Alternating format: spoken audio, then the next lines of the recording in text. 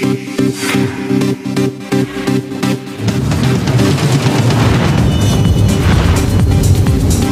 que vous êtes prêts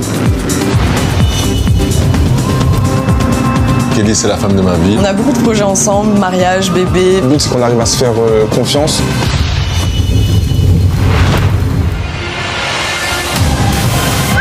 Caliente Sincèrement, ça va trop loin.